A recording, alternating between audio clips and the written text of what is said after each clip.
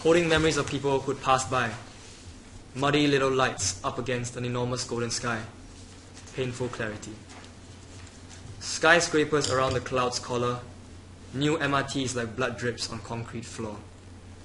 This is just preface, prefaces for marble shrines. Fine enough for the living to sculpt, but the noble deceased, deceased deserve more. And well, there I was in my greatest moment of loss, staring so wandering at rows and columns of streetlights. In my mind, they were pulled off the pavement and shattered, their moments of past scattered into a collective burst, this incandescent furor of big orange that liquefied the streets.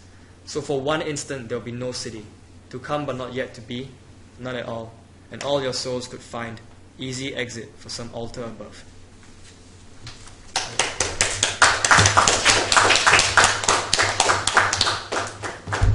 Just, uh, I saw that you had here, Ren Chun, um, you've got two drafts, haven't you, of, of Okay. uh, one, one poem. I was just thinking, because we want to leave some time for questions, would Yeah. you be able to talk very briefly about how, yes, Okay. the kind of transition from one draft to another? Okay.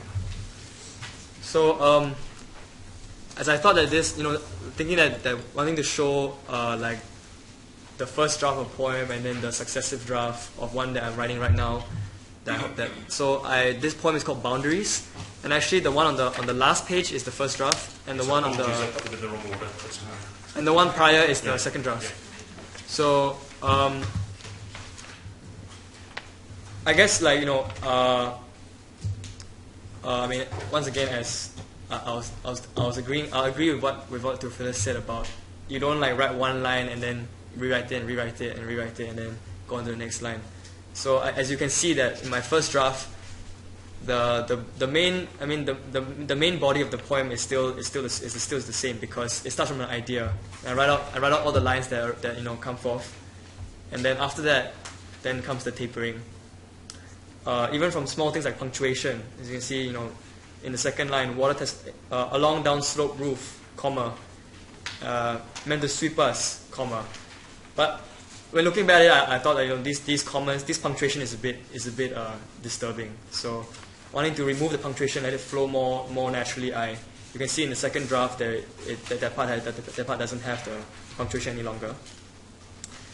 And uh, sometimes like you you have an you have an aim like you have a that there's a there's the emo, there's an image in your head that you have that you aim to express on the paper and you have all these parallels in your mind that you think that wouldn't it be wouldn't it be neat if it if it, if it came out this way but when you actually put it to word it's a bit harder so for example when I mean um, this idea is like you know watching the water flow down a roof and by right without this roof there it should be it, we should all be flowing away with it but and then I try to create that parallel in the first draft, you know, meant to sweep us, comma, yet held aloft by metal, comma, frameless glass.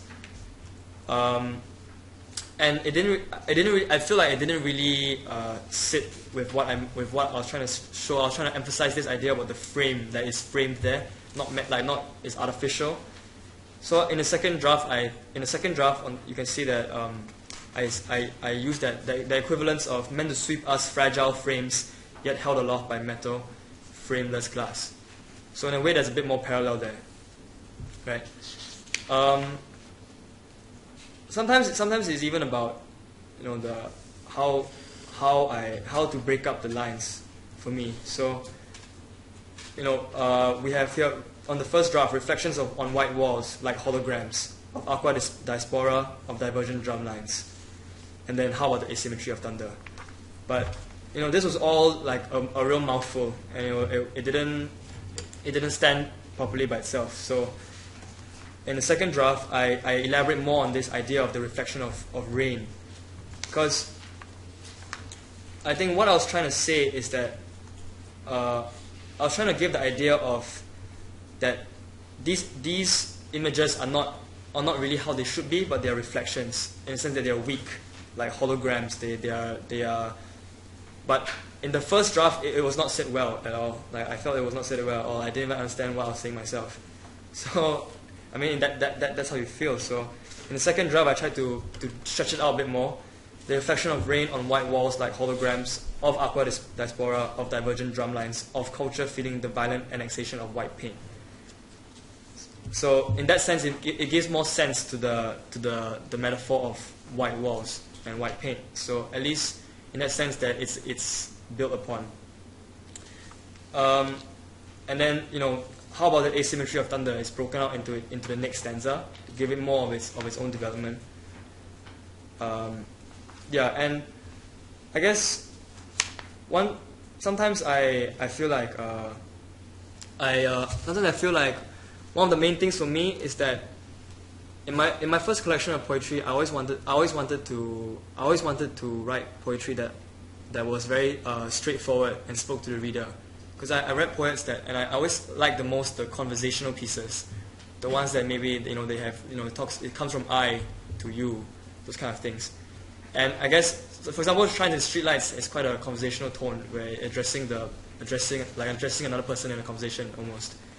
But I think also for now when I'm writing uh, more poems now, I also want to not just have that, not just have those kind of poems that, that try to give that straightforward personal feeling, but also stuff where I extract, I extract the narrator a bit more and um, have a bit more, let, let the, you know, the poem be a bit more abstract by its, on its own and not have too much of myself uh, a presence. So in, in, in, in that sense, maybe the reader can, can feel more.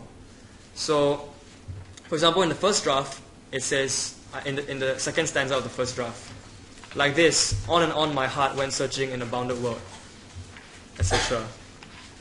But uh, I mean, it's just a small change. But in the second draft, I have, I, in the third stanza, I've written like this, on and on, on and on, a heart can go searching in a bounded world. So even, as a, even though it's a small difference, I feel like it's significant.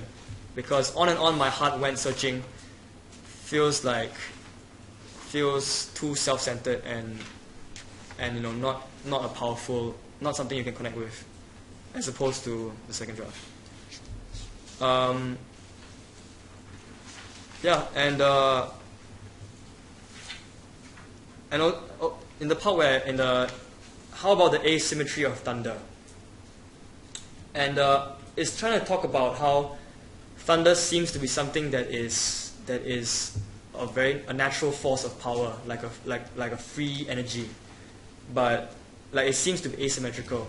In that sense, it's beautiful, but it's still it's it's actually belied by a, a perfect friction, right? And it's it's neatly one line down from, from the sky to, to earth. But I felt like that was not brought up, that was confusing in the first draft. So the idea of still belied, so that that irony didn't really come through for me. So in, in the in the second draft, um, instead of saying belied, I express, try to express in a more clear way those lines, lies, belied. So I guess that there's even the, the there's a more textual emphasis even like with that with that repetition with that lines lied belied of the fact that these lines are not actually uh, uh, they're not they're not actually they're actually very straight and not uh, free in that sense.